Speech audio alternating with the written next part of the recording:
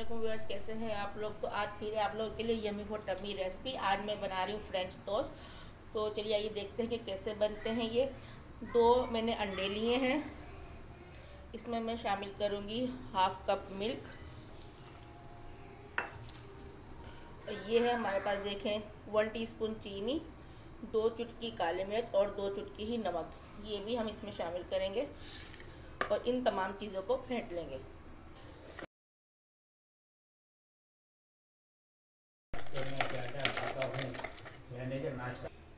जी, वैसे देखिए मैंने जो है तवा रखा है। अब मैं इस पे लगाऊँगी ऑयल। अब लेना है एक ब्रेड स्लाइस। इसको डिप करेंगे हम। ये जो अंडों का बैटर बनाया था, इसमें डिप करके और जो है हम ये अपने पैन पे डालते जाएँगे।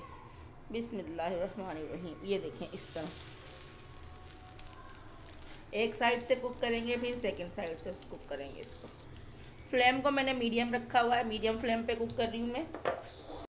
व्यूअर्स तो देखें, अब जो है मैं इसका जो है साइड चेंज करूँगी थोड़ा सा पहले लगाऊँगी मैं ऑयल और जो है ये। क्या हो रहा है इसका? ये साइड चेंज हो गया हमारा।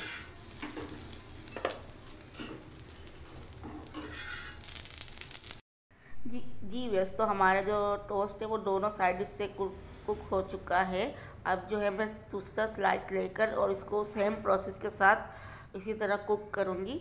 ये देखें, और जो है ये लीजिए हमारी रेसिपी है रेडी अब जो है थोड़ी सी चीनी लेंगे, वो इस पर स्प्रिंकल करेंगे, क्योंकि मैं इसी तरह पसंद करती हूँ।